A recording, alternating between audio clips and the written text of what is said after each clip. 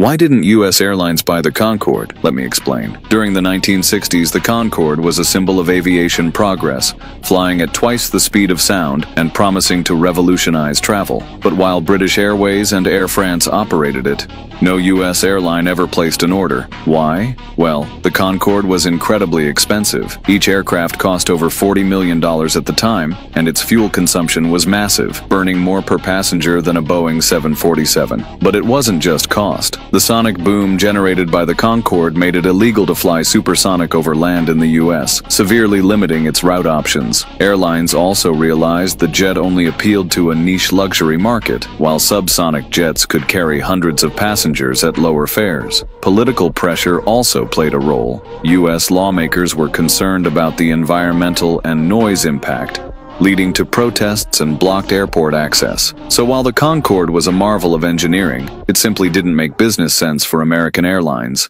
Why didn't